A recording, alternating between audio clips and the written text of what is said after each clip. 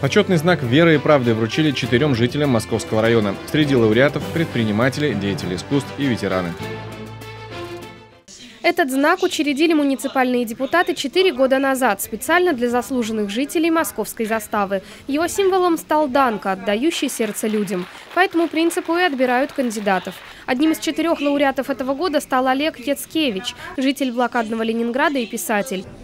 Мама сказала, вы должны выжить, ребята, чтобы рассказать об этом. Мы так и сделали, понимаете?